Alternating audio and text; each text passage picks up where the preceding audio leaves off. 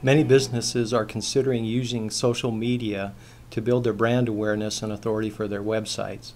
They're also looking at their internal resources and trying to decide if they can mount a full on campaign. So we're often asked the question should I outsource my social media?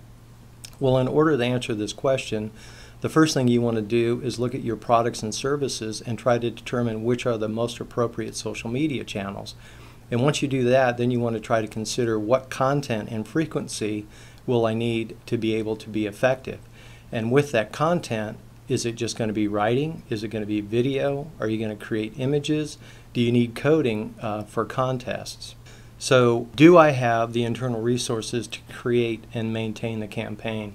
Many companies feel reluctant to turn over their social media marketing to someone who has limited knowledge of their company and or their products and services. And they balance that with the limited resources that they have internally so they try to determine for themselves do I do it internally or, or do I outsource it? And if you're a company in that position you might want to think of three separate scenarios.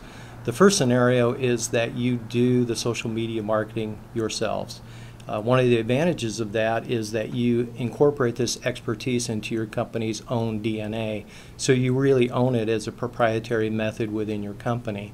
The downside to that is you may not have the expertise that an outside agency has, so you might be a little bit slower to start, and you also might fumble through some of the communication and the messaging that you give to your consumers.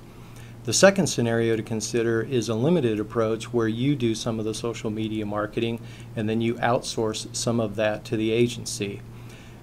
In order to do this, one of the things that you want to make sure that you do is clearly define the roles of your company and the role of the agency.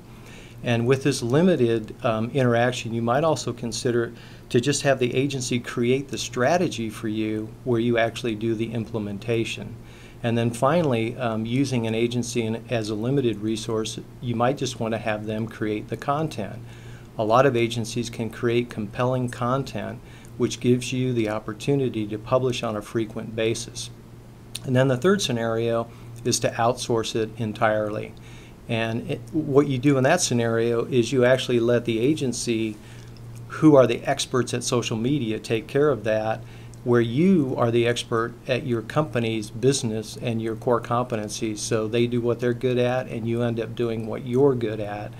And the caveat here is to make sure that you hire a reputable agency and that you look after all of the things that they're doing for you. Really, what you want to do is inspect what you expect from them. That you actually create the tactical steps for your social media campaign. A lot of companies make the mistake of creating a strategy, but they don't take that next step and break that strategy down into tactical steps. And those tactical steps actually help define the resources, the frequency, and the kind of content that they're going to publish in their social media channels.